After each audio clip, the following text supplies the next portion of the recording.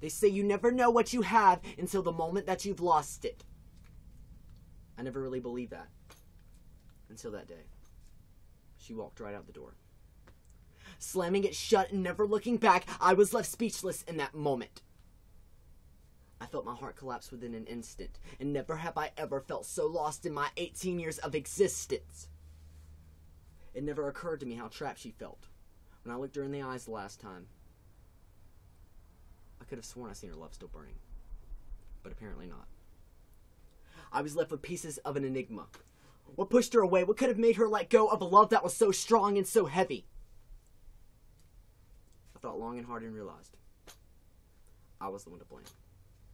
If I wouldn't have pushed everything of my own selfish desires on her, if I wouldn't have lost my temper over the simplest things and took it out on her, if I would have just listened to what she had to say and what she felt, there's no doubt in my mind that she would still be here.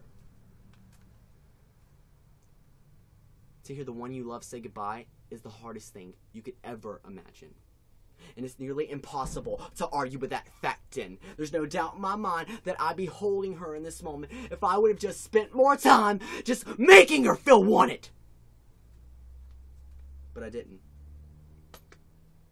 I stare at this picture of me and her, and now all I feel is empty space from where my strength is supposed to be built. She was what held this foundation together inside of me, and without her, there's nothing left but the aftermath of this once strong heart collapsing. I remember the first time she ever told me that she loved me. She looked me straight in my eyes and she said she'd do anything for me. She called me her guardian angel. She said I gave her that happiness she wanted. And as time went by, she swore that I became a different person. I went from the person that she loved to the person that she wanted to get away from. She didn't want to be in a relationship where she couldn't speak her opinion or what she was feeling because she didn't want to hear me say, Babe, quit bitching. I look at myself in the mirror and all I can think about is my reflection. How I can't even look at myself for more than five seconds without punching the fucking wall! Because I know I pushed her away!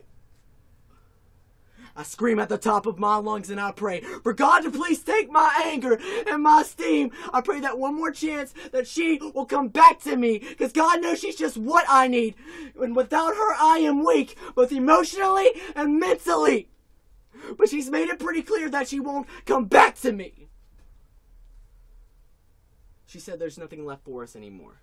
But how can there be nothing left when I'm still holding on? I know I fucked up, and every day it still haunts me to know I wasn't around for you to catch you when you were falling.